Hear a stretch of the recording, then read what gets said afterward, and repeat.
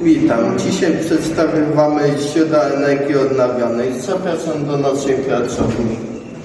Jednym z dziedzin energii odnawialnych jest wykorzystywanie energii słonecznej do wytworzenia energii elektrycznej lub energii cieplnej.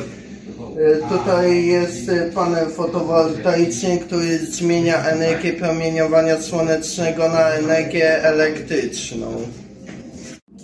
E, Tutaj mamy inne urządzenie energii odnawialnej. Tutaj obecna pompa służy do pobierania energii cieplnej na przykład e, z powietrza, ale też może pobierać energię z, cieplną z gruntu albo z wód głębinowych. E, Służy do ogrzewania domów.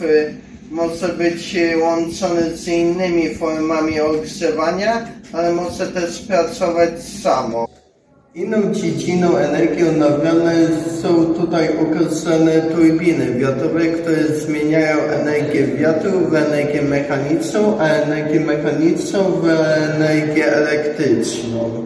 Jeśli chcecie więcej się dowiedzieć o energii odnawialnej, zapraszamy do naszej szkoły.